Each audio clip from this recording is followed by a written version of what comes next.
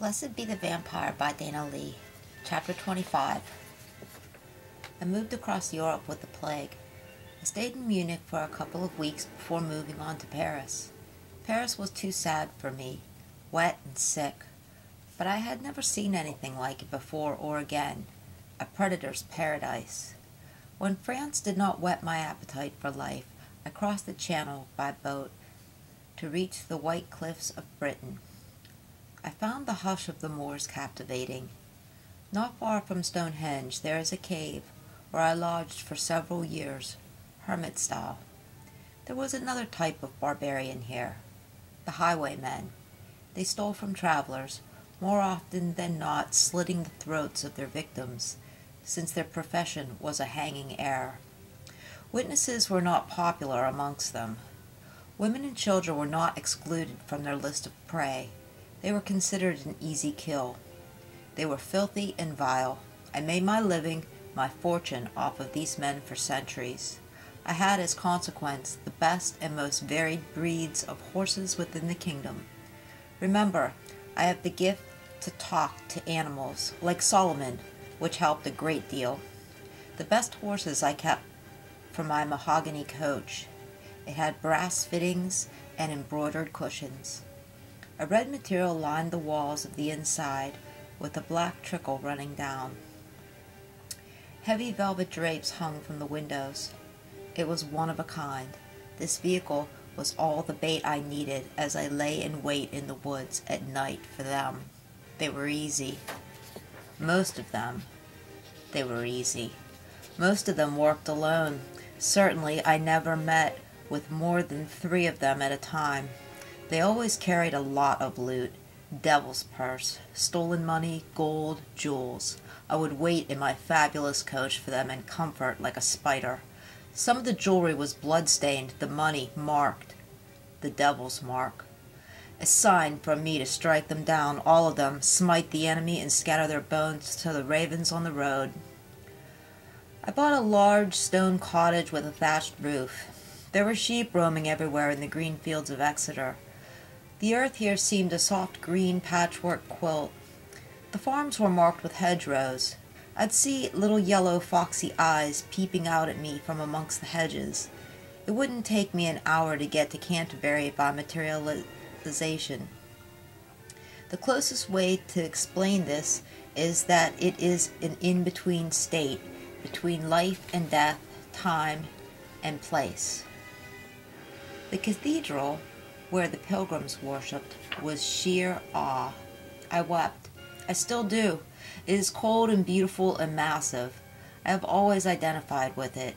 God amongst churches. I love churches, which makes no one safe. God destroyed his priests, the sons of Aaron's, when they lit the frankincense with unconsecrated fire. There were many villains in Canterbury amongst the righteous and the clergy to choose from. On one particular Sabbath in 1690, I remember the date because I had just read Lorna Doone, I watched a particularly foul priest who, like a cat, I had been stalking for a week, trying to sell some rabbit bones in a box, saying were the, they were the hand that baptized Christ, the bones of John the Baptist. Blasphemy. His face was hideously pocked and scarred. His hair was fair, like many of the Britons at this time. Nellie was soliciting an old widow who had come up from out of London slums to pay her respects to the Lord. She paid him a month's wages for the box of bones and dust, something she could have gotten out of her own rubbish bin. I followed him behind the streets of the cathedral. There were six-foot hedges here, enclosed in the yards of the cloister. Fast I dove under him, grabbed his feet, and pulled him down on his face. The birds of the hedge did not fly away. They stayed and watched with their black beaded eyes, singing hallelujah. He didn't have time to scream. God wouldn't allow it. I ripped off his head and drank him down from the neck like a bottle of pop. I tossed his heart to the birds. I didn't like the smell of it. I don't have to clean up after the kill. The Spirit of God must lap up the blood-stained evidence as an offering. I really don't know. It's against the laws as we know them to be like everything else about me. I could kill 20 men, then walk into church unstained. I did. I found the old widow at prayer in the church, eyes closed on her knees. I left her money in the hem of her cloak by her feet. Chapter 26 I want to go in with the Spirit of God to the New World where the pilgrims and the persecuted flocked, sailed in their strange ships. Britain became too pestilent even for me. The streets of the cities reeked of piss and human stench. The lost boys were everywhere. Surely, if there were other vampires in the world, they would bed here. I paid my last respects to Stonehenge, where the wind blew queer and the hills were chalk. While there approaching the megaliths, I had a vision. All visions come from the Lord, he who asks that we not erect stones as idol worship. The circle is not a circle at all. The sarsens are an echo, a reminder of the power of the Lord, a ruin of what once was a mighty stone tower touched by the hand of God, who blessed the people, the descendants of the Nephilites of old, who traveled here from the east, like me, shepherded by the hand of the Lord, who did not create them, but out of love watched over them still. The tower was one with the green of the land. It captured the radiance of heaven and gleamed gold in the sunlight. By evening it would calm to green. The people built an idol here. They were a magical race with many gifts. They were led by their great mother, the goddess Danu. They were separate from man. They could live to see a thousand years pass. Like Sodom, God was angered by their worship of the forest spirit, who he created. He is jealous. So he touched his finger down and smite out the people, ruined the tower of blue green, and turned the hills to chalk. Chapter 27 I said goodbye to my cottage swans and bats and boarded the Persephone for the American colony of Baltimore in the year 1700. The voyage took a month. I had my flask, mother's milk. I probably looked to be about 24 at the time, ageless. I never grew a beard. As long as I kept my teeth in my mouth and the bats at bay, I was safe. I seemed to have no predators besides the sun and fire. I can always disappear. By now I spoke Syrian, Romanian, German, French, English, Latin, Greek, and Hebrew, as well as several other languages that no one else remembered. I was rich beyond the devil's belief, and God surely provided for me all along. A new attitude overtook me as I floated across the Atlantic into the arms of America and her deep forests, blue mountains, and shining seas. Home again, home, the promised land revisited, my heart awakened to God's holy treasure. But of course she was first christened in blood my America, my warrior princes, and so I came to see. The mountains of Maryland are majestic, but I traveled on to Pittsburgh because life begets itself from the rivers, and Pittsburgh has three. The settlements were small then, but growing, sustained by the rivers. William Pitt was an Englishman from Pennsylvania. Pennsylvania, England, that is. So I came to be a dweller of Penn's Woods. The people were all rustic, hard-working miners, farmers, and fishermen. The land was bountiful and providing. They built churches out of river rock. I lived near one, Lebanon. It was beautiful and massive. I felt the Spirit of God here. I had a long, two-story red brick house with the kitchen off behind. There were secret traps in the floors and a cold cellar in the back beneath the house. A wrought iron star hung off the western side. That house is still there. When I moved here, the land was uninhabited to the church. Woods were all about with rolling hills and woodland Indians. It was during the end of the French and Indian War that I met Tom Fawcett, a colonist. He lived near where Kennywood Park is today. I met him at a trading post that his cousin owned. I could buy fur from them. Tom's cousin's wife, Juanetta, a Seneca Indian, worked the store while her husband set the traps. There were still a lot of Indians in Pennsylvania at that time. I remember feeling the magic off the man, like Nair, only different. I could smell it. His eyes flashed fierce. He was in an unkept red coat. He wasn't awfully tall, small compared to me, but he gave off a powerful air. The area was torn about like a leather belt. The people here had intermarried with the Indians, and yet were forced by the English lords to fight the Indians and the French, both of whom were as thick in these parts of the valley as the English colonists. It was a bloodbath, christened in blood, and I had the notion that evil followed me wherever I went, no escape but through the Lord. Tom Fawcett felt the same way. I knew that he did when I first held him in my vampire sight, in his red coat, British troops were stationed here as well. Some planned on settling, others could not wait to get back home out of the wilderness. Morning, Netta, I need some new boots. Do you think you could get started on some for me? Ten pound. Silver. Good. How's the kids? I worry. I know. I'll copy the order here. One pair leather. What color? Brown? You usually get brown, right?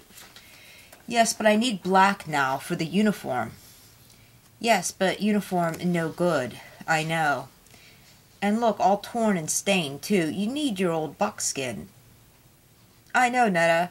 You know they'll shoot me, too. You know I try not to kill, you know. I know. How's your brother? He's with me, thanks. I look out for him. He takes it all pretty damn hard.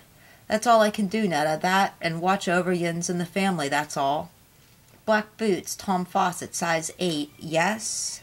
You got it, Netta. Hey, you hear about those brothers, the monks who disappeared over the hill from here last month? Hear what? Anything at all? They saying that they were carrying a load of gold for charity, and that they never showed at their post. They think the Indians got them. Doubt that. Me too. Sounds like red the redcoats. Pray, Tom. You know it, Netta. Thanks. Tell Herc I said hi. Bye-bye. I waited for him. Tom Fawcett. Yes, hey, do I know you? Not quite. Your name. English, aren't you? Johnny Bull. Why? He wasn't defensive. His cold gray eyes had been through, had seen so much. He was rather intrigued. He looked me up and down, something I wasn't used to. I usually remained behind the scenes where I liked it. This man, well, this man was something else entirely. From the many-colored hill. What? Fawcett, that's what it means. My name, yes. I walked with him. It was a fine autumn twilight. The air was crisp and fragrant with the smell of maple and red leaves falling from the oak. I used to live near the place that your people come from, in England. I wouldn't know. All my folks are here. My father, God rest his soul, came over here as a young man. You fight in General Braddock's infantry. He spat on the ground and dug his worn boot in the earth of the road. I'm going to kill that bastard. Lord is my witness. I'm going to kill that bastard. The only reason I haven't already is that I have to look out after my brother, Bob, my little brother. He's serving with me as well. I was surprised. You hate your general, mister? Look, what's your name? Leviticus. Are you a Jew? Half, but my mother was a Gentile, so it doesn't count. Look, Leviticus, I liked the way he pronounced my name. I hadn't heard my name spoken in years, and I never even thought of that until I heard it said by him. I loved him, a man, and he was no ordinary man, even if he did not know it himself. Finally, I found somebody that I could relate to. This hadn't happened since Nair and my lost boys, lost brothers. I could read the worry, the honor in his brow, his duty, his curse. The Indians cursed the white men when they were murdered, raped, and sold into slavery. God closed his eyes to them, but remembered their curse, and the land was a blight, a bloodbath. The general is a butcher beyond belief. He is wholly evil. Ambition, land grant, money, that's all he knows. He doesn't care who dies for it for him and his greed. Kill, kill, kill. You would be better off without him? Hell yes, better with peace. better. Chapter 28 I wanted to be his guardian, his angel, his savior. It was not to be. When the infantry rolled out, I followed. Then, through the deep woods, an encroaching shadow, unbeknownst to the men. He was a butcher, sending out a hundred to face two hundred French and sixty Indians. The French were well armed with muskets, and the Indians were experts at ambush. Robert Fawcett didn't stand a chance. Tom's wife, Lizetta, was giving birth to twins, and he was granted a two-day furlough from action. Braddock would not grant leave for Robert, however, and Tom was angry. If his wife was well and there weren't twins, I doubt that he would have left his brother's side. As it was, Robert took a French musket ball right through his steely left eye. They buried him there in the dark woods under a rock and moved on. On the third day, Tom returned a new father, although the second twin had died. Lizetta was well. Where's Bobby? Ask the general, Tom. What? Ask him what? Where's Bobby? Tom, those boys didn't have a shot, not a chance in hell. Sorry. He sent them up there. They were outnumbered five to one while he was back at camp eating roast duck. I knew what would happen next, and Tom went right for Braddock's tent. Blew his brains out. Stole his horse and was gone before anybody knew it. A thief in the night. I couldn't have done any better myself. I followed him, a bat above his head, an albatross around his neck. He got as far as Ligonier. They had six men on horseback out for him. He thought he was in the clear. While I was gutting four of them and making it look like the work of Indians, the other two took him out quick as he slept at the base of an ash tree. I'll never forget the sound of that musket fire. All hell's fury resounded. When I found him, he was alone, a puddle of blood beneath the ash. I tore open my wrist lay him back, and let the blood pour down his throat. He was gone, but I craved his heart, even so gorged with the kill. It was a good one, bigger, softer than most.